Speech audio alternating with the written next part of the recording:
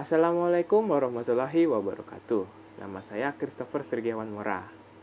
Kali ini saya akan membawakan materi public speaking dengan menganalisa seseorang, yaitu Barack Obama. Barack Hussein Obama atau yang biasa kita kenal dengan Barack Obama adalah seorang politikus Amerika Serikat yang pernah menjabat sebagai Presiden Amerika Serikat ke-44. Barack Obama lahir di Honolulu, Hawaii, dan adalah lulusan dari Columbia University dan Harvard Law School. Selama menjabat menjadi Presiden Amerika Serikat yang ke-44, banyak sekali pidato-pidato dari Barack Obama yang menginspirasi banyak orang. Dan tentu saja dalam pidato-pidatonya juga dia menggunakan public speaking yang sangat baik dan benar. Karena itu kita akan menganalisa public speakingnya berdasarkan enam prinsip. 1. Motivasi Barack Obama selalu memberi pidato yang menarik tentang apa pun yang dia bawakan.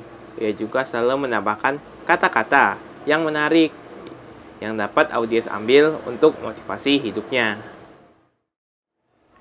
2. Perhatian Barack Obama pun selalu memberitahukan dengan jelas apa maksud pidato yang dia bawakan, agar audiens dapat menyimak dengan baik dan ingin selalu tahu apa yang akan dia sampaikan selanjutnya.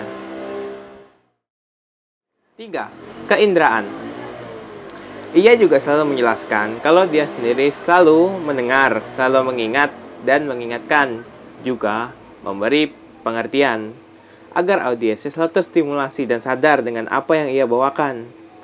Seperti yang dikutip dari pidatonya di New Hampshire, Primary Nights pada 8 Januari 2008. Always remember that no matter what obstacles stand in our way. Nothing can stand in the way of the power of millions of voices calling for change. 4. Pengertian Dalam pidatonya, Barack Obama selalu menggunakan kata ataupun kalimat dengan isi yang jelas dan membahas apa masalah sampai penyelesaiannya dengan sistematis dan terstruktur, tidak acak-acakan ataupun lompat dari satu hal ke hal yang lainnya.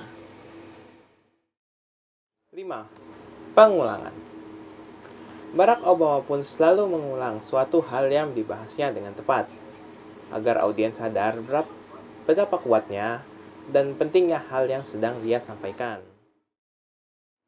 6.